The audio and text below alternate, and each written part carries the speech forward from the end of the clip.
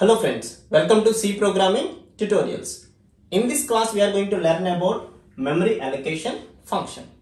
So memory allocation is nothing but in our previous examples, in previous programs, we declare many variables int a, int a of 5 like this. So what is a variable? A variable is a memory location. Here in this memory you are going to allocate some memory for the variable a. Here the integer 4 bytes so we allocate 4 bytes of memory to variable a. Similarly int a of 5 means we allocate 5 into 4 20 bytes memory to the array a. Okay so now so this is also memory allocation but here we are talking about memory allocation functions. So memory allocation functions means here you are going to allocate the memory by using functions. But in this case we are not using any functions. Okay, if you observe that here we are not using any functions. If you simply declare this variable, the memory is allotted. Okay, so that type we are called as a static memory allocation. And if you allocate the memory using any function that we are called as a dynamic memory allocation. First we see the definition. Static memory allocation. Declaration and definition of memory is specified in source program. If I write a program, in that program if I define a of 5, then 5 into 4, 20 bytes memory allocated automatically when I am declaring this array A. Okay, so coming to dynamic memory allocation, it allocates the memory at the time of execution. At the time of the execution, you are going to specify that I want only 16 bytes. I want only 16 bytes. So 16 bytes of memory is allocated at the time of execution. That we are called as a dynamic memory allocation. You understand these two terminologies. Static means so before the execution only you are going to allocate the memory. Dynamic means allocate the memory at the time of execution. For better understanding of dynamic memory allocation, we are going to know the conceptual view of memory.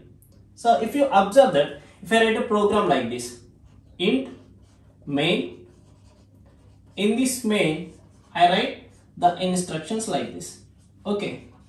And in this main and in this program only, I define two functions, two functions.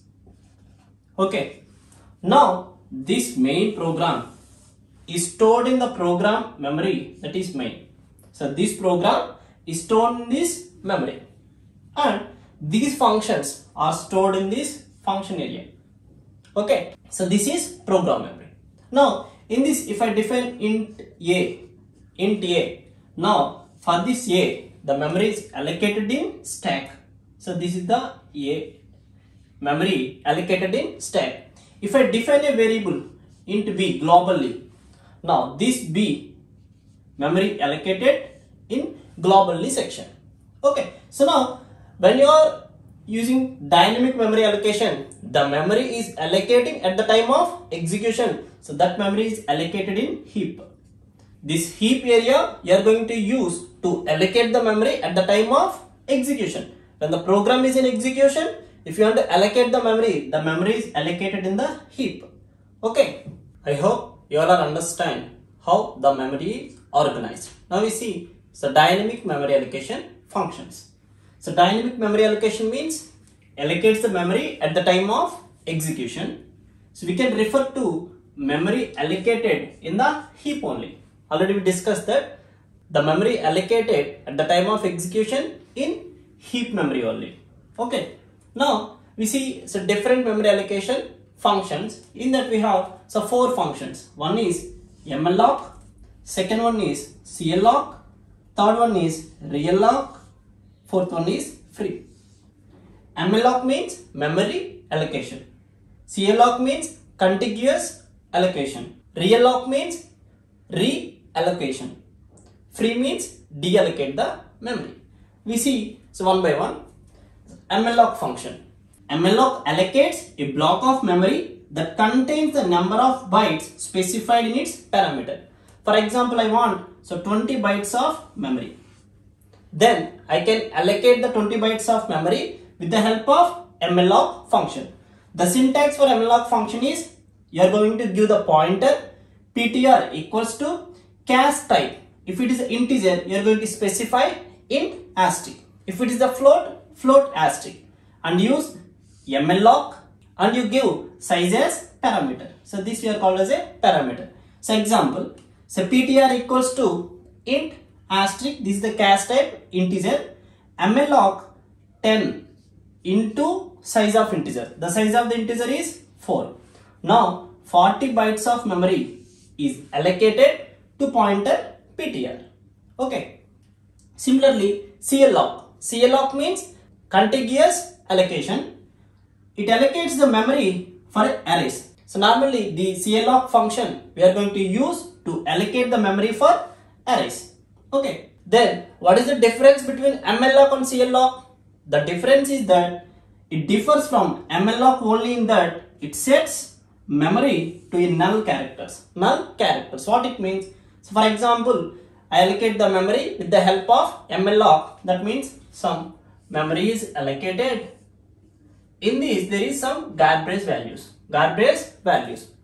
If the same memory allocated with the help of calloc, with the help of calloc, then the content in this memory is initialized with the zeros. Okay, that is the only difference between malloc and calloc. Coming to syntax, so PTR pointer variable equals to cast type into so calloc n comma size. That means the calloc function you are going to use to allocate the memory for arrays. That means here we can specify the size 10 comma size of the integer is 4. Then 10 into 4 40 bytes is allocated.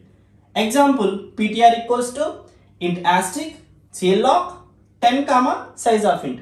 So 10 comma size of the integer is 4. So 40 bytes is allocated. Coming to malloc here you can specify so 10 multiplication of size of or you are going to give the 20 means 20 bytes of memory is allocated to the pointer PTR.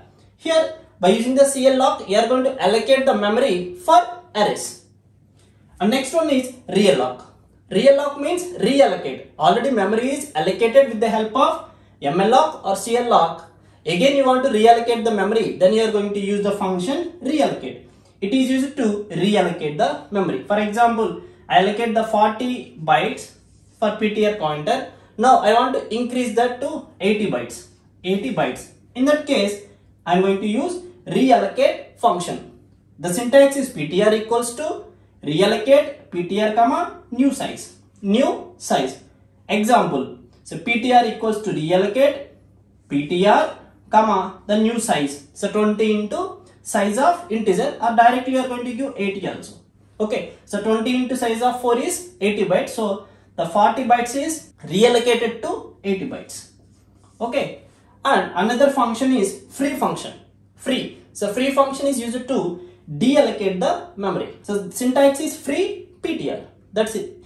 Free PTR, the allocated memory to PTR will be deallocated. Now we are going to see one example. Here we are taking one pointer. So this is the pointer PTR. So this is the int type.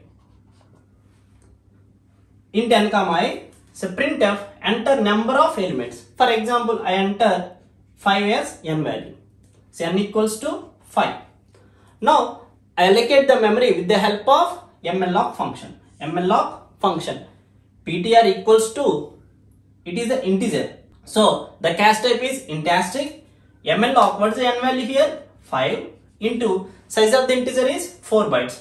So 5 into 4 so 20 bytes of memory is allocated here. 20 bytes. Okay. So after that in this memory location I am going to read the values. So enter 5 elements. 5 elements. For i equals to 0 i less than n that means 0 less than 5 true. Enter into this block. Scan of percentage d ptr plus i. What is the i value? What is the ptr value? For example this is the 100. 100 plus i value is 0. So now whatever you are going to read from the keyboard that is stored in this location 15. Let us read the value 15 and it is integer so it occupies 4 bytes and or not 4. Okay next iteration it becomes ptr plus 1. So that means 100 plus 1 means 104. I hope you all are, know that pointer arithmetic 100 plus 1 into 4 104 the next value stored here. In next iteration 35, 45, 55 and loop is terminated. Okay, why? Here the n value becomes 5, 5 less than 5, false. Okay, and similarly by using this for loop, you are going to print the values. How? So PTR of i. So initially it is PTR of 0. In next iteration, PTR of 1. Next iteration, PTR of 2. So how we can evaluate this PTR plus 0, PTR plus 1, PTR plus 2 like that. Okay, now so by using this for loop, you are going to print the content in this array 15, 22, 35, 45 and 55. Okay. Now in the place of malloc, you are going to use calloc.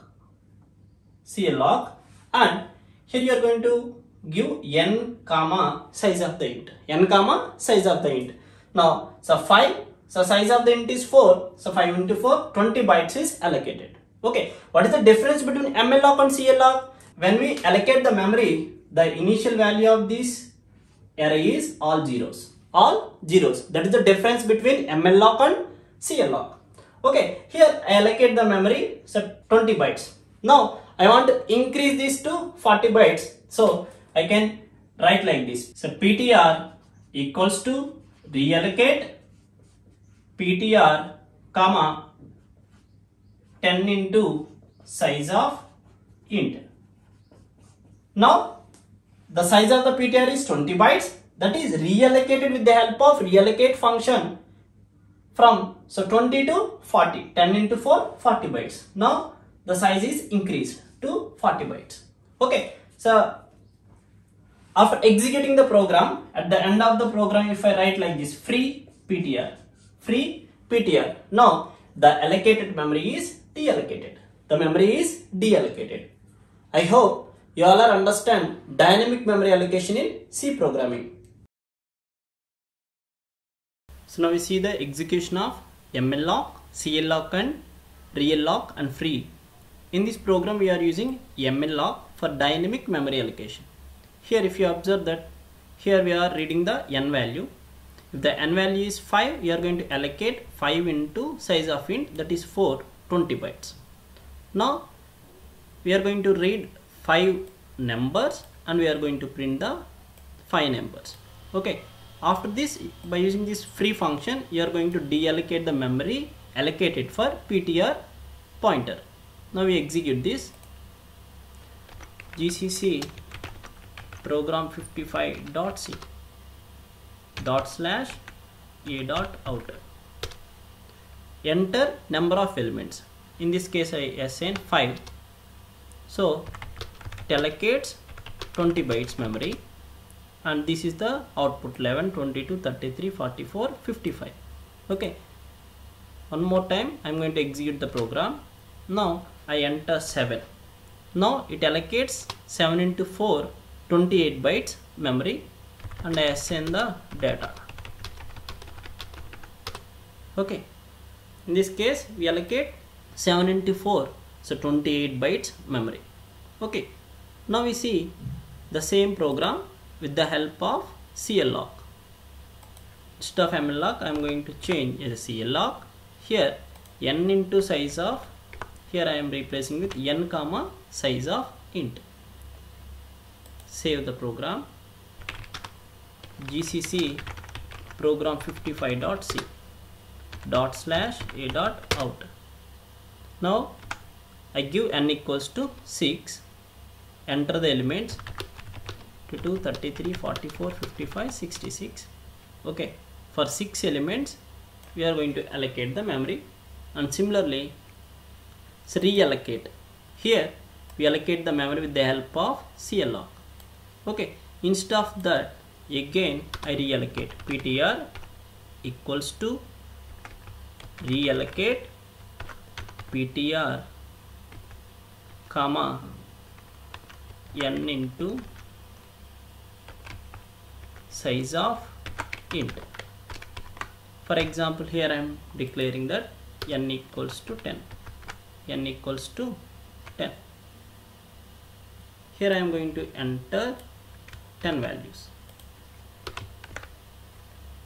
We execute this program gcc program 55.c dot slash a dot out.